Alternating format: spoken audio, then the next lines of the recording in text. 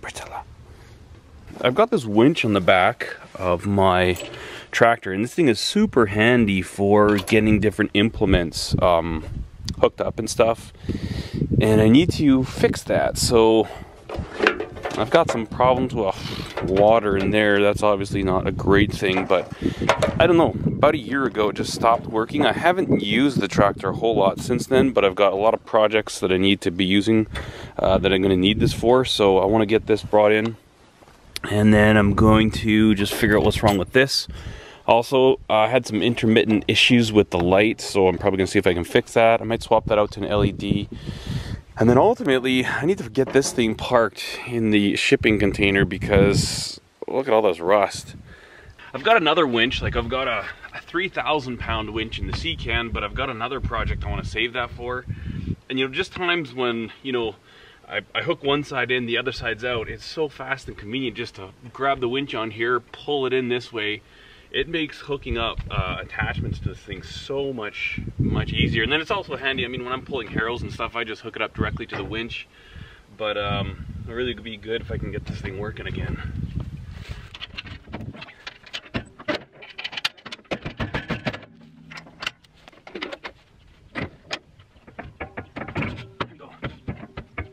We are disconnected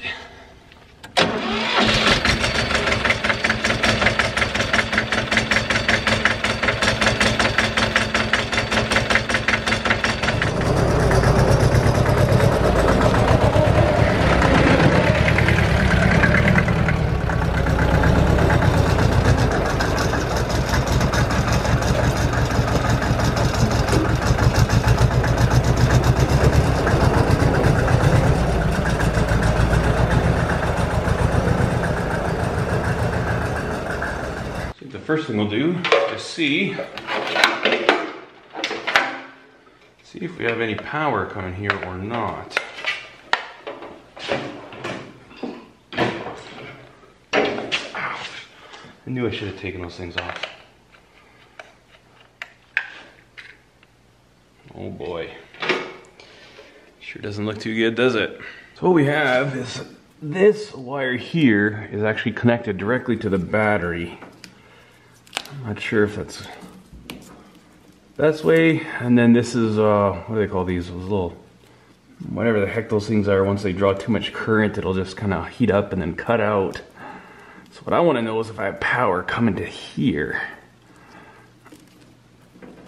Come on. 13 volts. 13 volts, so this is good. We're getting power going all the way through. Let me just see if this ground is good. Here's this ground cable. We'll check that at the back here. This is the one coming from the battery right here, which is these wires here. So in theory, we should have power there.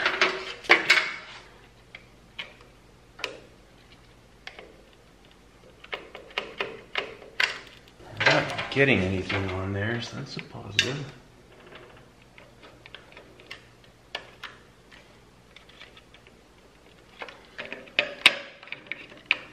Is it just not reading through the rust? I think this thing's just completely stripped out. Ah. Let's see if I can do this without touching anything else. Oh. Boy, oh boy. Oh.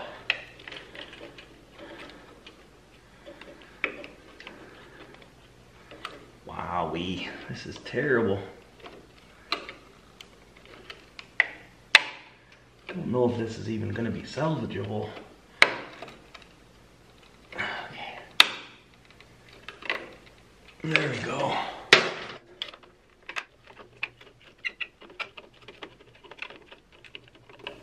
Well, we should be able to get a reading off of that now.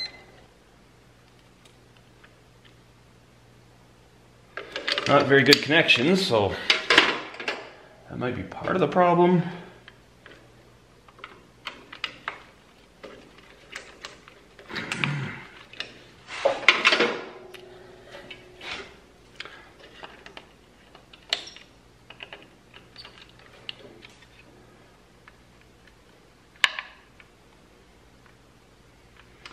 Okay, I might disconnect.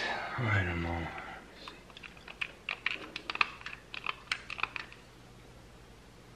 Yeah, I'm just going to disconnect that little overload thingy. Just so we don't accidentally touch on anything.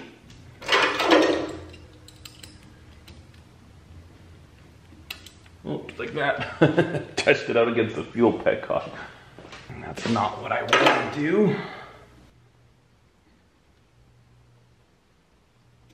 Okay, so now we don't have any power going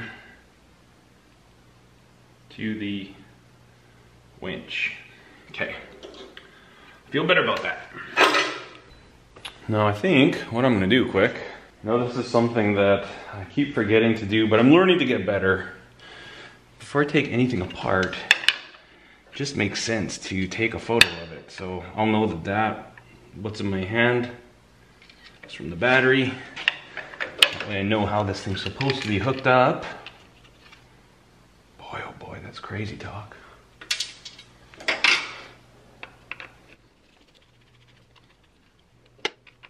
wonder if the switch is just done.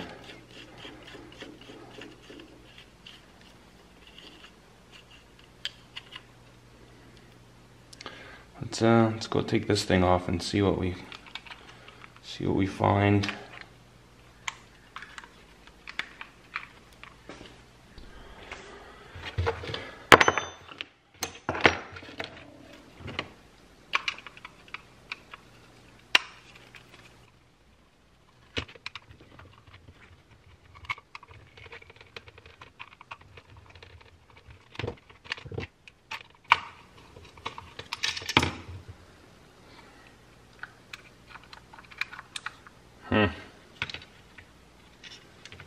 Okay.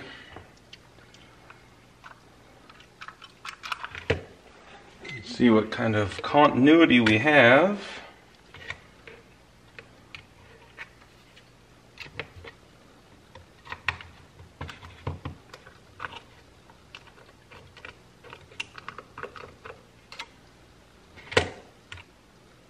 Look at this, I need my need my photo already. Okay, so the wires going to the winch were these ones. This was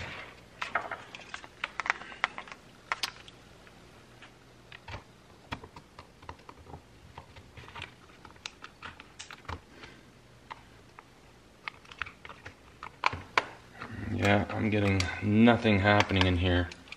So I think the whole, like I can't get any continuity no matter what I press. I think the switch here is just done.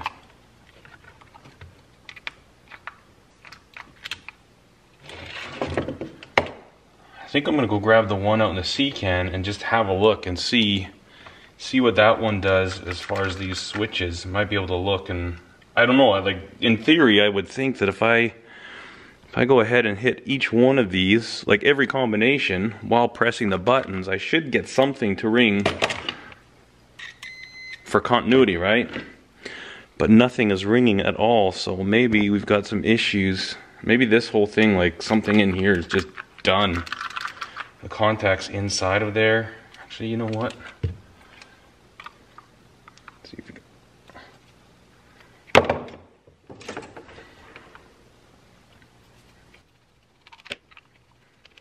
Okay, this should open this thing right up. Let's see what's happening.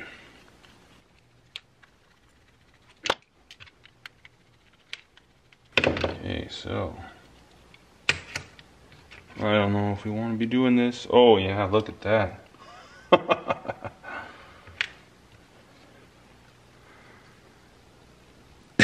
no wonder, no wonder this thing is not working. There's no way you're going to get contact there at all. That's funny. So what I need to do is clean this up. I think I have some electrical contact cleaner out in the in the C can. So I need to go ahead and get that cleaned up, clean all this up in here, and I think we should be able to put it back together. I'm also going to need to find some of the other screws. I'm not going to put that one that's really stripped back in, but I think we found the problem. Hopefully we can get this cleaned up. I'm to go see what I have out in the sea can. All right, I found this stuff out in the sea can. Who knows how long it's been around. You know what, we're to scoot these knaffs out of the way so we don't wreck them. Oh. There we go. We'll see what happens.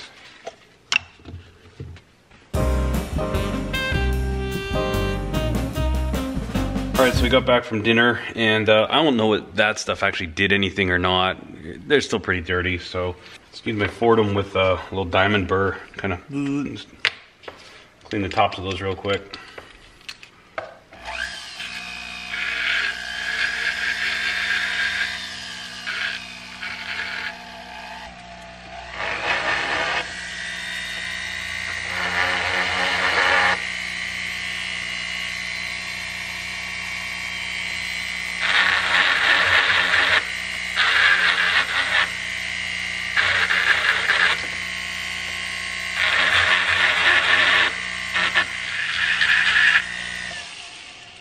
That should be good. What I'm going to do is I'm going to undo basically this set, clean it, then put it back. This set, clean it, put it back. Just that way we're not going to lose any of them.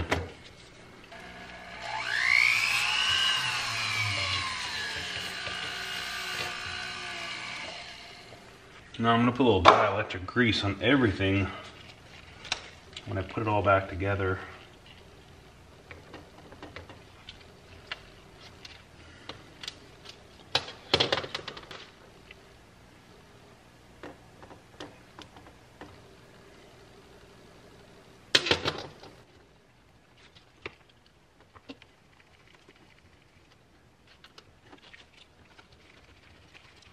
So this little block here has all these little jumper bars. Um, you can see so we come in from here to here, there to there, there to there, there to there.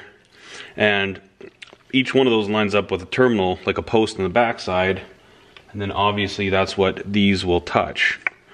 So this just kind of distributes it and then this will give power for the, the different direction. Interesting. Quite a simple way to get things done when you, when you kind of take a look at it.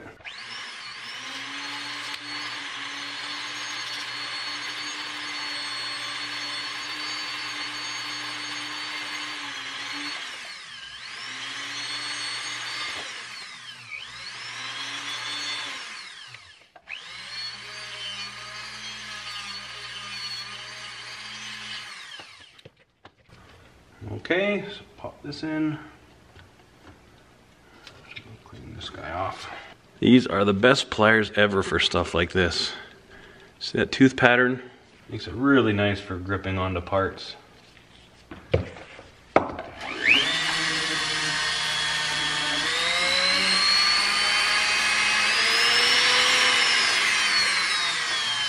Oops, almost forgot my dielectric grease.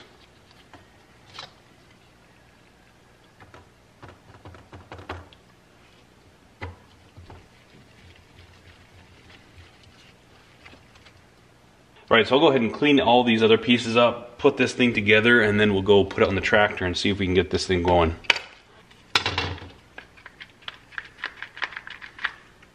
Cool.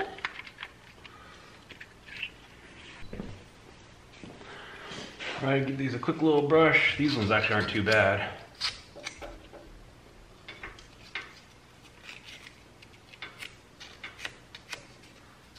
Coming from the power, these two.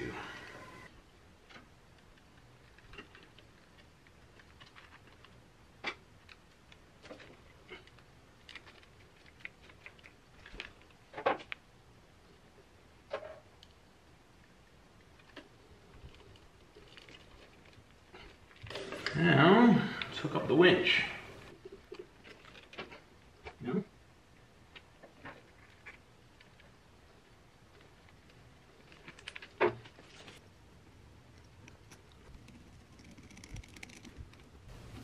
Okay. Now I'm not sure. Don't believe I need the ignition on for this.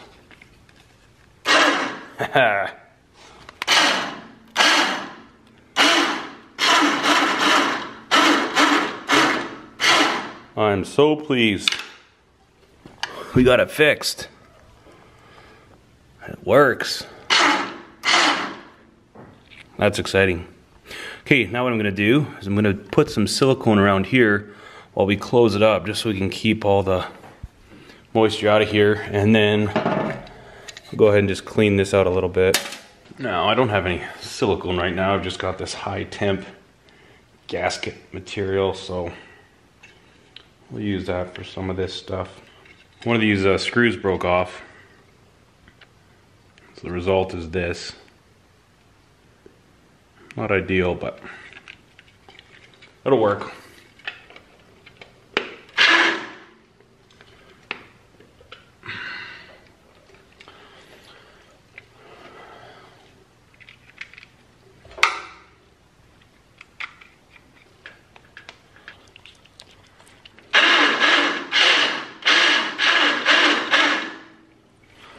All right, I think one of our big problems is that this screw is missing. There's a little bit of a crack in there. This thing has to live outside for right now. So mostly I just want it sealed up. I really don't care how it looks. Obviously.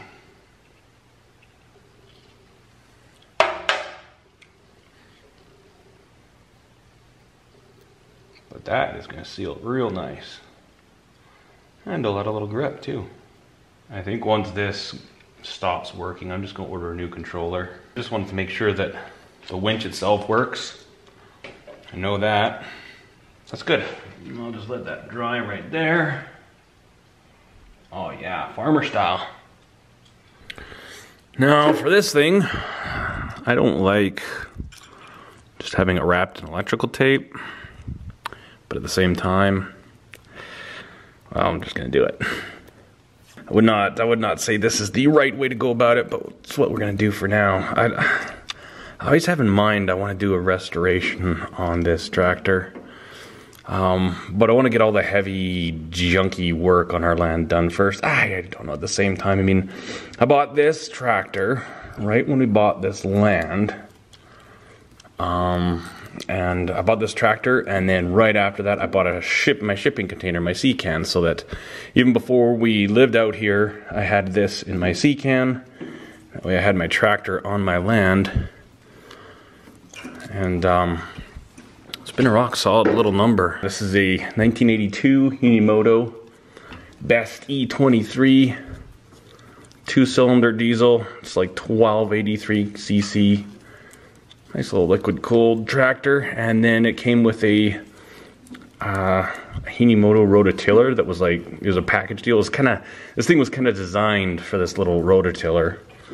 And it works really good. It's got some kind of like custom, some factory mounts for the rototiller with PTO driven. Works really well. And then with it, I also got a, that five foot, the M5 Dixie cutter. And uh, I've got a lot of hours on this tractor, and I tell you what, for 4,000 bucks, you'd be hard pressed to find anything half this good. Now, eh, with the situation with the lights, I actually found the problem. These little crimp-on connectors that basically kind of splice in the middle of the line. There, we got it working there now. Oh, it just turned off. You have a look at that light. There we go. On, off, on, off. And that's just me squeezing these silly connectors. It's kind of nice because he's got it tied in right now to the low beams. So there's the low beams on the tractor, there's the high beams. But I also don't like that because what if I want to use this with high beams on? So I think I'm going to get rid of this I've got a nice LED one I can replace it with. And I don't have a good switch right now. I thought I had one, but I don't. I'll probably end up drilling a hole right here and then mounting a proper switch. And that way I can pull this, and that way I can turn the lights on and off. The one nice thing with this right now is that it's tied to the ignition, which is kind of nice. We're gonna tackle that another day because I just don't have time to get on with it right now, and I wanna do it up properly. The other thing I need to do is try and figure out what type of thread this is, this ignition thing. And uh, this little ring disappeared off of there.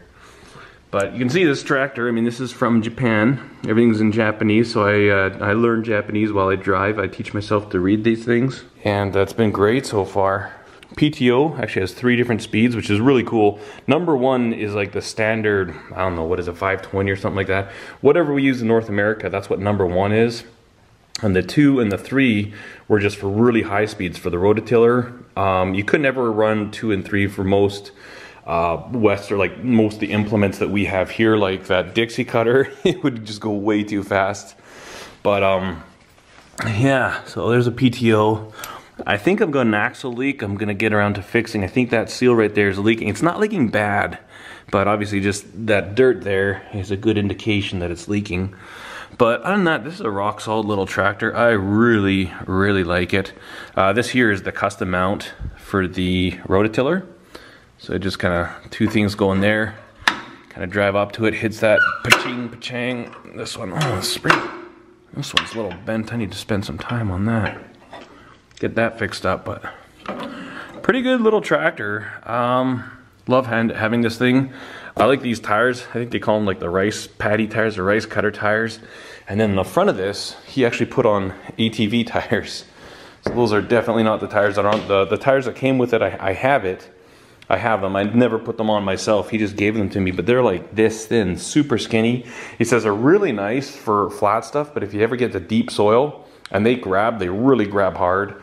And the nice thing with these two is that they kind of float, right? I think I've got like five PSI in those, um, maybe eight, but really low PSI. And so they just kind of float in the snow and the mud. Those things do not go down at all. Do not get the front end of this tractor stuck, which is really nice. So it's a good little, good little unit here, and uh, I'm telling you, I couldn't be happier with this tractor. It's uh, even just as of now, it served us so well. Uh, I'll show you the engine quick. It's always a. I, I, I mean, you know, if I ever won a lottery, well, first you have to buy tickets, I guess, but some guys might be like, oh, I'm going to buy sports cars or motorcycles. I'd buy motorbikes too, but I would spend a lot of money and I would buy a lot of tractors because I don't know what it is, but I love tractors. So there's a little little diesel diesel pusher there. There's our injectors. Starter, it's got a little block heater right here. And uh, so, so simple. you've got your radiator, you've got a hose and another hose, water pump. Like this is a thing of beauty.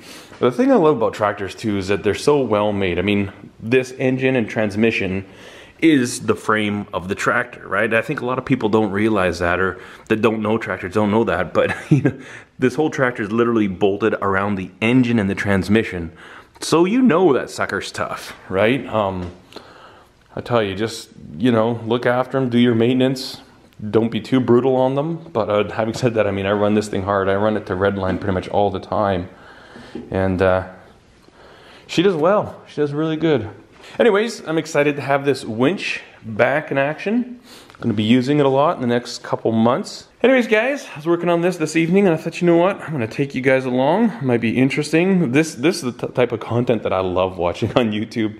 Uh, I like watching people fix things and, and get old things working, keep old things working. Fascinating to me. Anyways, guys, thank you so much for watching. Cheers.